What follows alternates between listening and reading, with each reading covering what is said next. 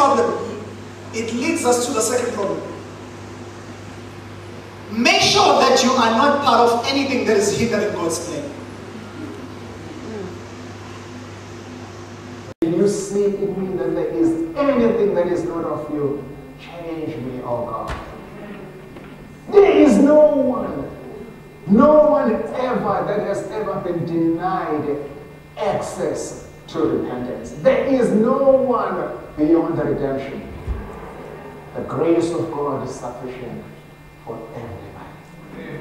If everybody can have Christ in them, we will have a better country. If everybody will be aware that God sees everything that we do, no one escapes all His all-seeing eye, we will live in a better country, making better people, making better relationships, reaching out, touching somebody, making this place a better place.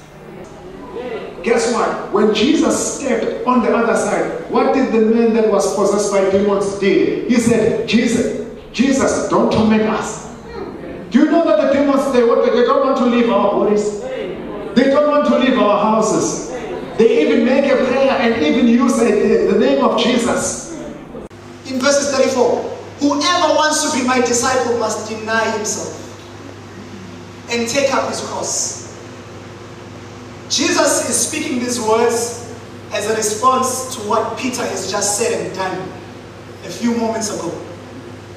But the words that Jesus is speaking are not really making sense to me because he says, Whoever wants to be my disciple must deny himself, but he's speaking to his disciples. And that says to me there's a problem here. How can Jesus speak to his disciples that have been journeying with him for three years and speak and say, Whoever wants to be my disciple must deny themselves? This says that perhaps there's a possibility that these people, these guys, have been disciples, but they have not yet been disciples.